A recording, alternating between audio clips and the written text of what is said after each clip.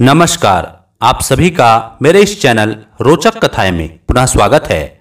आज मैं आपको सिंहासन बत्तीसी की एक और रोचक कहानी जादुई गुटिका बताने जा रहा हूँ। तो देर नहीं करते, शुरू करते हैं आज की कहानी। एक दिन फिर राजा भोज सिंहासन पर बैठने गए। तो जलजा नाम की पुतली बोली, रुकिए राजा, इस सिंहासन पर केवल विक्रम जैसा बुद्धिमान राजा ही बैठ सकता है। राजा भोज ने पूछा, कैसे थे राजा विक्रम? पुतली ने बात शुरू की। एक बार आधी रात को राजा विक्रम वेश बदलकर नगरचर्या देखने के लिए निकले।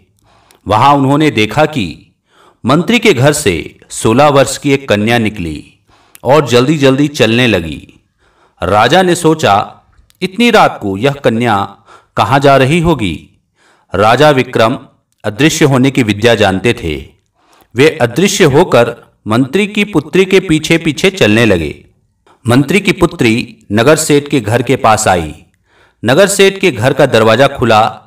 दरवाजे में सेठ का पुत्र दिखाई दिया। मंत्री की पुत्री बोली, वादे के अनुसार मैं आ गई। नगर सेठ के पुत्र ने कहा, तुम्हारे प्यार की परीक्षा हो गई। अब तुम अपने घर लौट जाओ। मंत्री की पुत्री बोली, सवेरे लौट जाऊँगी। इस समय तो मैं यहीं रहूँगी। नगर सेठ के पुत्र ने कहा, विवाह के पहले इस तरह रात में मेरे घर पर रहना ठीक नहीं है। कहीं राजा को मालूम हो गया तो हमें फांसी पर चढ़ा देंगे। मंत्री की पुत्री ने गर्दन ऊँची उठाते हुए कहा, मैं राजा की जरा भी परवाह नहीं करती। मैं चाहूँ तो राजा का सिर काट लाऊं। यह सुनकर सेठ का पुत्र आवेश में आकर बोला, इतना ज़्यादा अभिमान? तुमने कहा है तो अब राजा का सिर लेकर ही यहाँ आना। इससे पहले मुझे अपना मुँह मत दिखाना। मंत्री की पुत्री का अभिमान आहत हुआ।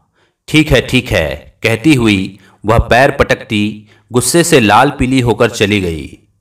यह सुनकर राजा विक्रम भी मुस्कुराए और आगे चले। राजा विक्रम थोड़ा आगे गए। तभी एक घर में हो रही बातचीत उनके कानों में पड़ी।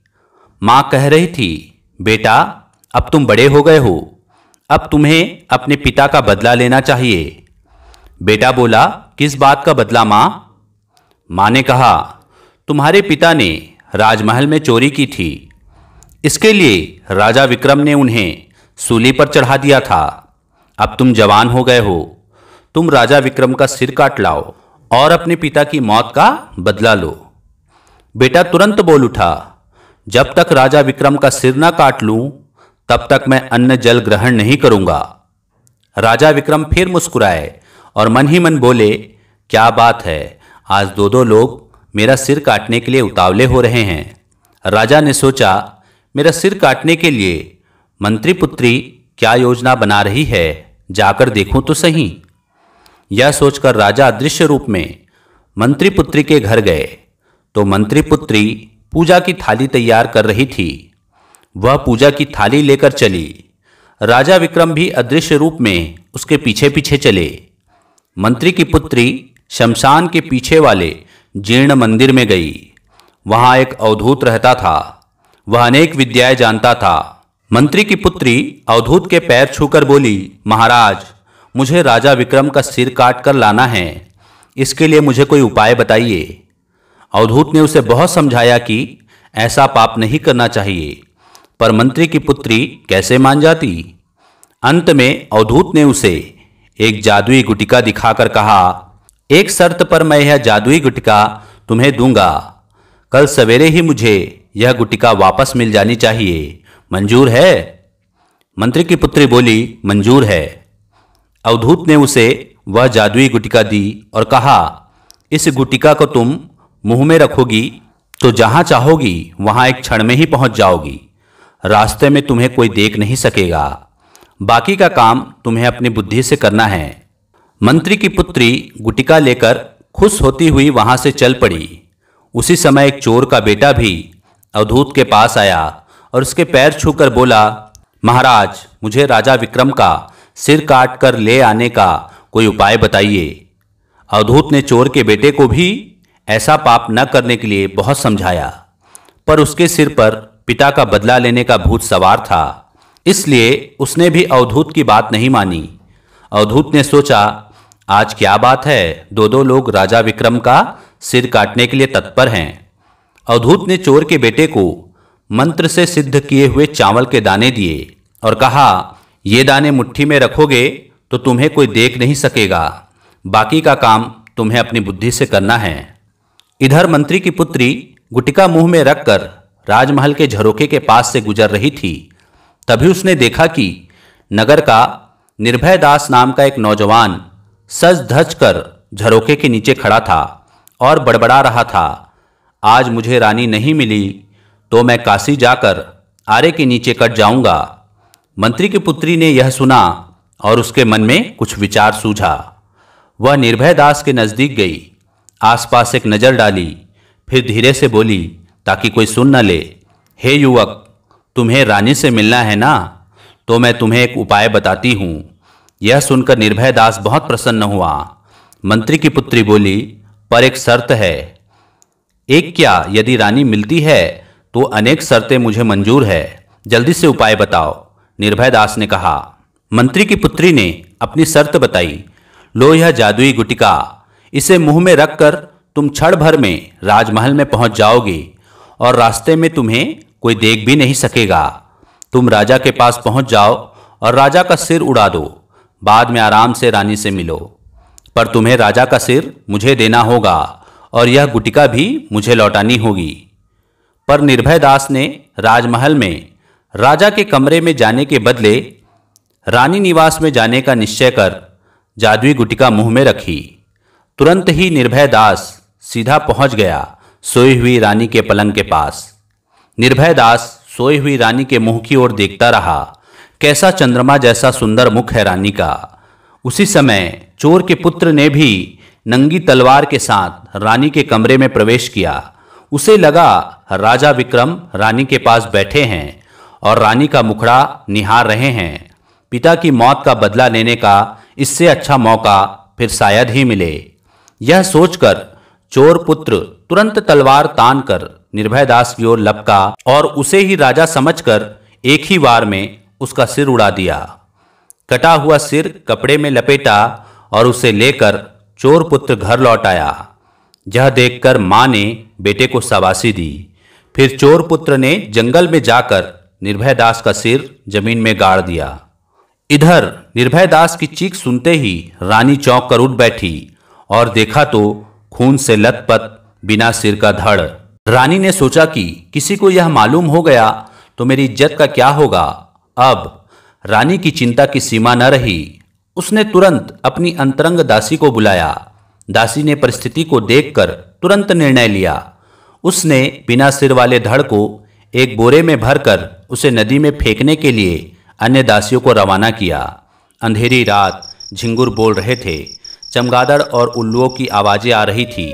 ज़ोर ज़ोर से कुत्ते रो रहे थे। दूर गीदड़ रो रहे थे। दासियों को डर लगने लगा। इसलिए ठेठ नदी के किनारे तक जाने की दासियों की हिम्मत नहीं हुई। उन्होंने एक पेड़ के बड़े कोटर में वह बोरा छिपा दिया और जल्दी जल्दी नगर की ओर लौट गईं। राजा विक्रम अदृश्य होकर यह सारा खेल देख रहे थे। राजा विक्रम जंगल में गए। निर्भय दास का ज़मीन में गाड़ा हुआ सिर उन्होंने बाहर निकाला और उसके खुले मुँह से वह जादुई गुटिका निकाल ली और सिर फिर ज़मीन में गाड़ दिया। इधर मंत्री की पुत्री राजमहल के झरोखे के नीचे राह देखती खड़ी थी, पर निर्भय दास लौट कर नहीं आया। मंत्री की पुत्री को न राजा का सिर मिला, न ही जादुई गुटिका वापस मिली। मंत्री की पुत्री फिर शमशान में लौटी, जीर्ण मंदिर में अवधूत के पास गई। रोते रोते उसने सारी बात अवधूत को बताई।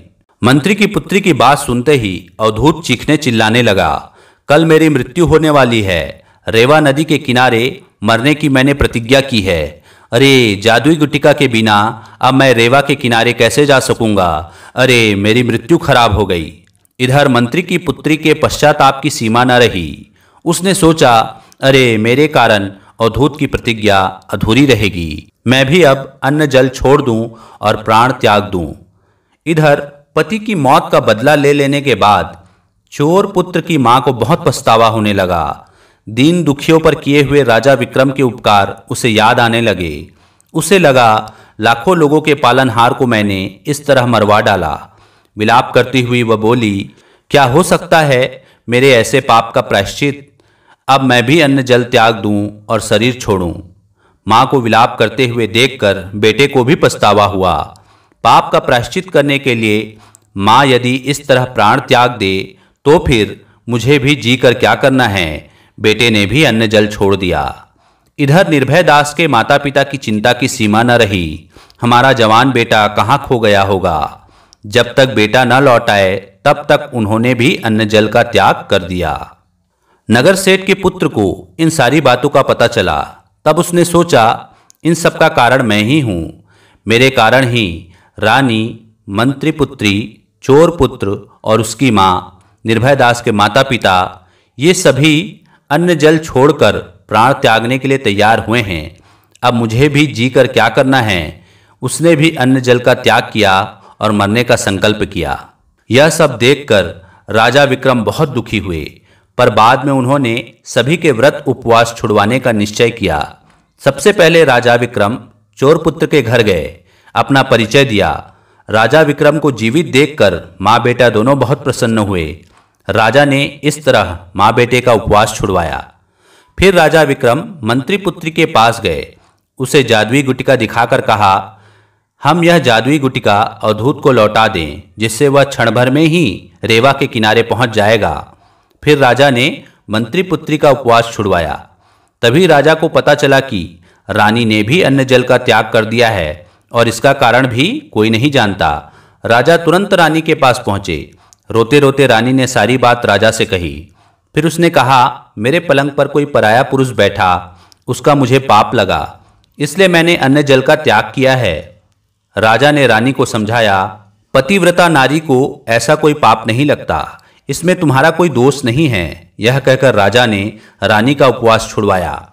फिर राजा विक्रम अवधूत के पास गए। उन्होंने अवधूत को अपना परिचय देते हुए कहा, हे तपस्वी, अपने दुख का कारण बताइए।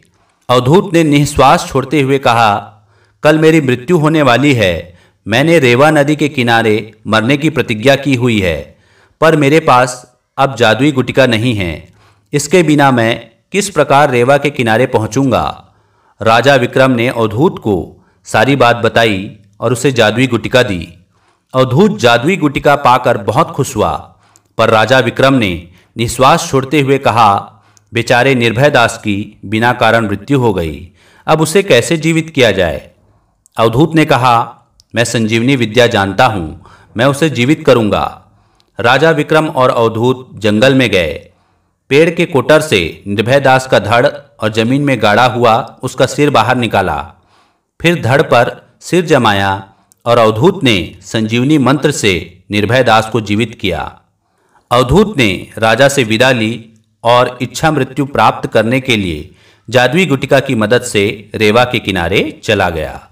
फिर राजा विक्रम ने मंत्री की पुत्री तथा नगर सेठ के पुत्र का धूमधाम से विवाह करवा दिया।